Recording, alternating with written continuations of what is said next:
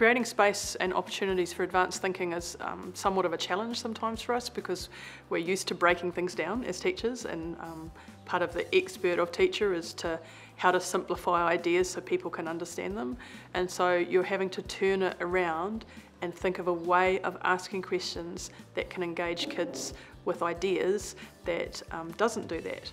So it does take some practice and again having a few examples to build on is um, really effective. But what I've noticed is, so for the physics investigation, which was our first attempt at this, I did some of that early thinking and um, about making decisions. But our second attempt, which is through the carbon cycle, um, it's very much led by Geraint and the ideas that the students, the things that students are working on now, um, he's come up with himself. And so it shows quite quickly actually, once you get into it, it becomes almost second nature to go, oh yeah, this is what we need to do. A standard way of asking about the carbon cycle would be, um, okay, explain to me how the process of photosynthesis works, or it might be list all the different processes that are involved in the carbon cycle.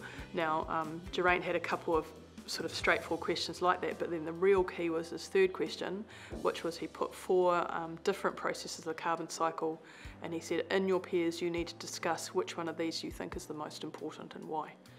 Now, there is no right answer to that question, but the discussion itself, um, when we were watching around the classroom and listening, the debate that was going on about the different sort of, oh no, this is more important because, and so they're having to really think and engage with the ideas, and the knowing what it means they pick up along the way. Uh, the response of the students has been really positive. Um, there's been a lot of healthy debate and uh, just a lot of really positive discussion um, and also the feedback. Um, they've many of them have provided really positive and constructive criticism and feedback to each other.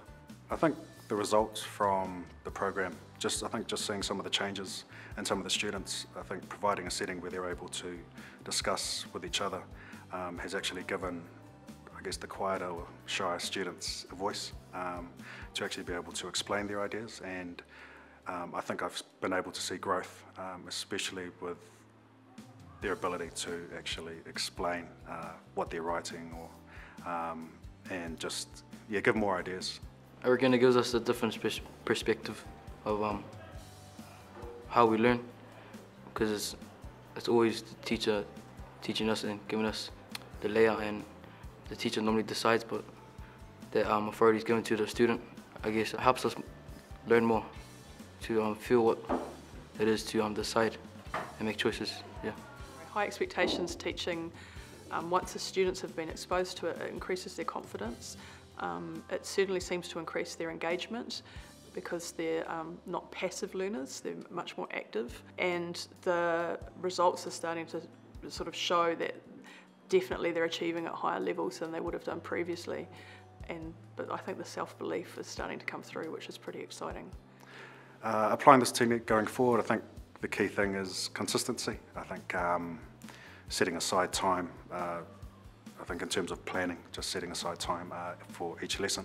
Um, I think a lot more discussion um, and also I think one of the big things is probably less is more, so the less I think, the more the students think. So um, I think you kind of get caught up sometimes in uh, trying to fill them with knowledge, um, but the knowledge for a lot of them is actually within them. Um, so it's just a matter of getting that out.